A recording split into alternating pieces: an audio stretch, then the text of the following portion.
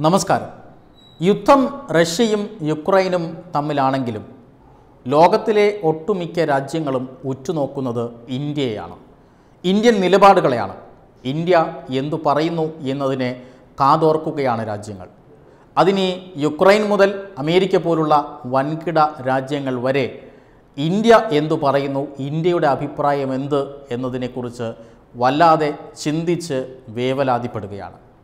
നമ്മുടെ ശത്രു രാജ്യമായ പാകിസ്ഥാനിൽ ഭരണാധികാരിയായിരുന്ന ഭരണത്തലവനായിരുന്ന ഇമ്രാൻഖാൻ പോലും ഈ റഷ്യ യുക്രൈൻ സംഘർഷത്തിന്റെ പശ്ചാത്തലത്തിൽ ഇന്ത്യൻ വിദേശ നയത്തെ വിലയിരുത്തിക്കൊണ്ട് പറഞ്ഞത് ഇന്ത്യയുടേത് മാതൃകാപരമായ സ്വതന്ത്രമായ വിദേശ നയമാണ് എന്നാണ്.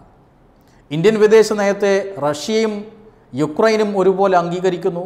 കാരണം പ്രധാനമന്ത്രി നരേന്ദ്രമോദി യുദ്ധം അവസാനിപ്പിക്കുന്നതിനെക്കുറിച്ച് റഷ്യൻ പ്രസിഡന്റുമായും യുക്രൈൻ പ്രസിഡന്റുമായും ഒരേപോലെ ചർച്ച നടത്തിയവരാണ്.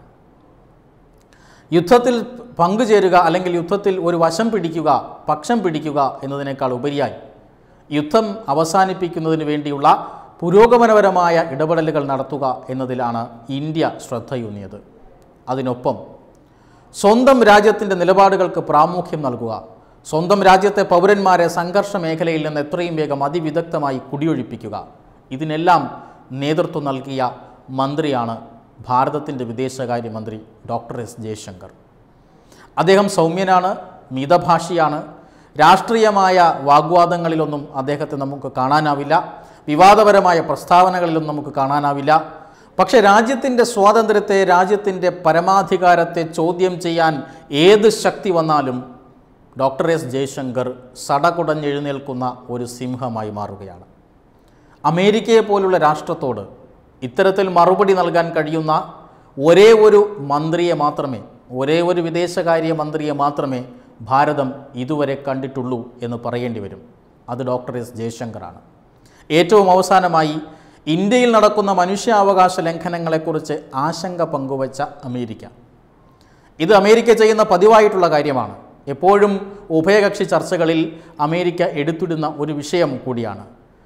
ഇന്ത്യയിൽ വലിയ രീതിയിൽ മനുഷ്യാവകാശ ലംഘനങ്ങൾ നടത്തുന്നു മതപരമായ വിവേചനം നിലനിൽക്കുന്നു എന്നെല്ലാമുള്ള ന്യൂനപക്ഷങ്ങളെ അധിക്ഷേപിക്കുന്നു ന്യൂനപക്ഷങ്ങളെ പീഡിപ്പിക്കുന്നു. ഇതെല്ലാം അമേരിക്ക പലപ്പോഴും ഉഭയകക്ഷി ചർച്ചയിൽ എടുത്തിടാറുള്ള ഒരു വിഷയമാണ്. പലപ്പോഴും അത്തരത്തിലൊന്നും നടക്കുന്നില്ല എന്ന രീതിയിൽ ഇന്ത്യ പ്രതികരിക്കുകയാണ് പതിവ്. പക്ഷേ ഇത്തവണ ഇന്ത്യ പ്രതികരിച്ചത് അങ്ങനെയല്ല. വിദേശകാര്യമന്ത്രി ഡോക്ടർ എസ് ജയശങ്കർ ഇന്ത്യയിലായിരുന്നില്ല അദ്ദേഹം അമേരിക്കയിലായിരുന്നു. ടു പ്ലസ് ടു ഉച്ചകോടിക്കായി അമേരിക്കയിൽ ചെന്ന് അവരോട് മറുപടി പറഞ്ഞത്. ഡോക്ടർ എസ് ജയശങ്കറിന് നേരെ ഉയർന്ന ചോദ്യങ്ങൾക്ക് രാജ്യത്തിന് നേരെ ഉയർന്ന ചോദ്യങ്ങൾക്ക് അദ്ദേഹം മറുപടി പറഞ്ഞത് ഇങ്ങനെയാണ്.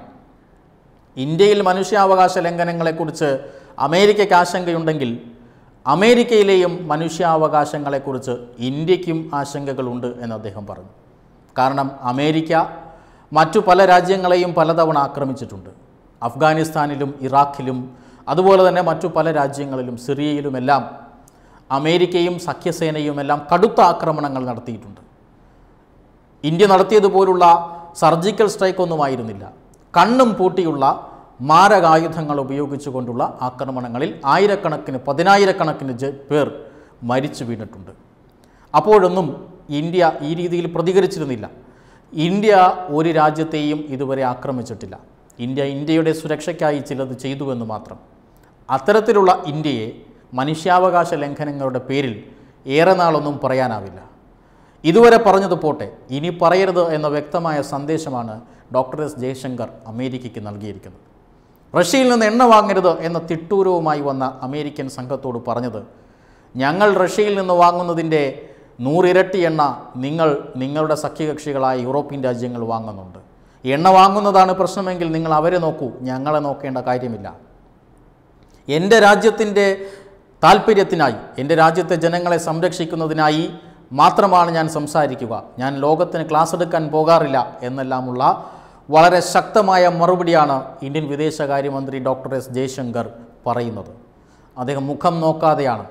ഏത് ചെറിയ രാജ്യമാണെങ്കിലും ഏത് വലിയ രാജ്യമാണെങ്കിലും അതിപ്പോൾ നേപ്പാളോ ശ്രീലങ്കയോ ആയിക്കോട്ടെ അമേരിക്ക പോലും ആയിക്കോട്ടെ ഇന്ത്യൻ നിലപാട് ഇന്ത്യയ്ക്ക് ഇപ്പോൾ ശക്തമായ ഒരു നിലപാടുണ്ട് ആ നിലപാട് തുറന്നു പറയുക തന്നെ ചെയ്യും എന്ന വളരെ കാര്യക്ഷമതയുള്ള വളരെ ബോൾഡായ ഒരു വിദേശകാര്യമന്ത്രിയാണ് നമുക്ക് അമേരിക്കയുമായുള്ള വിദേശകാര്യ ഇടപെടലുകളിൽ നയതന്ത്ര ചർച്ചകളിൽ നമുക്ക് കാണാനായത്. സ്വന്തം രാജ്യത്തിന്റെ നിലപാടുകളെ ഓർത്ത് സ്വന്തം രാജ്യത്തിന്റെ ഭരണകൂടത്തെ ഓർത്ത് ജനങ്ങൾ അഭിമാനിക്കുന്ന നിമിഷം കൂടിയാണത്. വെബ് ഡെസ്ക് തത്തുമൈ ന്യൂസ്.